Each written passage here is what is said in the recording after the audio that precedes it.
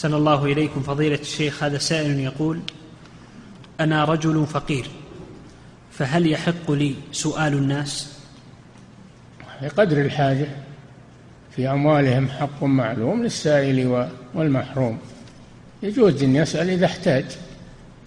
إذا احتاج يجوز له يسأل قدر حاجته ثم يمسك عن السؤال. نعم. إعداد مشروع كبار العلماء بالكويت. أعزها الله بالتوحيد والسنة.